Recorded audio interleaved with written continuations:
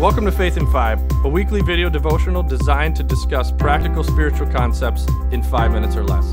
I'm your host, Mark VanDellen. So, in the movie Tommy Boy, there is a scene when he is on a little sailboat out in the middle of a lake and he's trying to have a conversation with his dad. And while he's out there, it's just a completely still day. He's in a sailboat, and there's there's these little kids or young kids on the on the shore, and they're yelling at him and making fun of him because his ship, his little boat, isn't moving. Now, Tommy Boy's a rather large human, and his boat is small, so it looks kind of funny. And one of the kids yells out, Hey, Tubbo, you ain't moving. And Tommy Boy responds and says a couple of things, but then he says, Yep, could use a little wind here.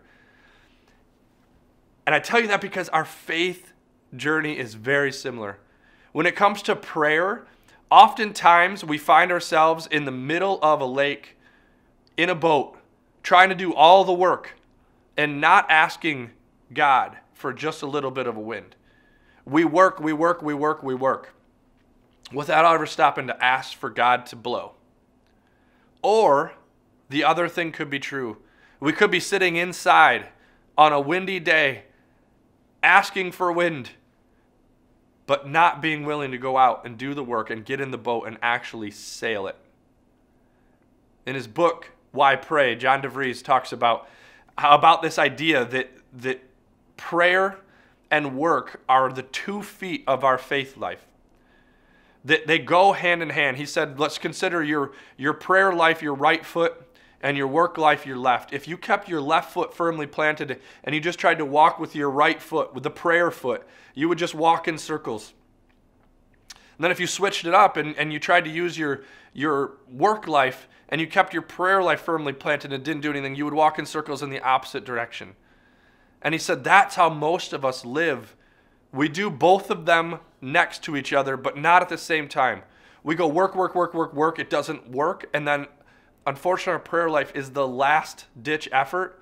And then we pray, pray, pray, pray, pray, and hope that God will make miracles happen, which He often does, but, but they're really intended to go hand in hand and work foot by foot, side by side. See, in Ephesians 3 20 through 21, it says that God can do anything, far more than you could ever imagine, or guess, or request in your wildest dreams. He does it not by pushing us around. God doesn't force his way onto us. It says that he does it through his spirit, deeply and gently within us. And the way that we connect with God and his spirit, the way that we better understand what he wants for us and, and where we should be working and how we should be working, the way that these two things go together is through prayer and work. It's kind of the old adage that we should work like it depends on us and pray like it depends on God, but that we can't do either alone. As we wrap up this prayer series, I want us to consider how prayer impacts our lives so deeply and so richly. See, God intended that prayer is to be the means by which we engage together, by the means by which we join Him and His work to redeem this world. And that by connecting with God more often, more regularly through prayer, through conversations, we can be more in tune to what He wants and where He wants us to work. And He will show up when we put in the work.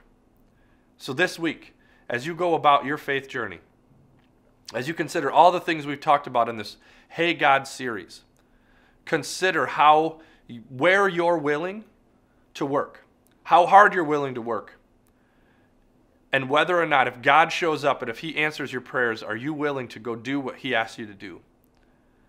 And also be willing to ask for Him to show up in those places that you're ready to work hard, the places that you want to see impact, and continue to do those two things together.